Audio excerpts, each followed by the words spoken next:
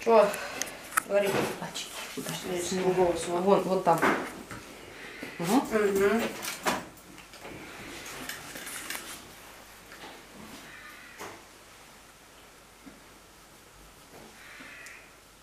Че, кость что ли? Да, вроде целая. Не, шерсть. Понятно. Скорее всего, он что-то напорол, потому что здесь кость не торчит.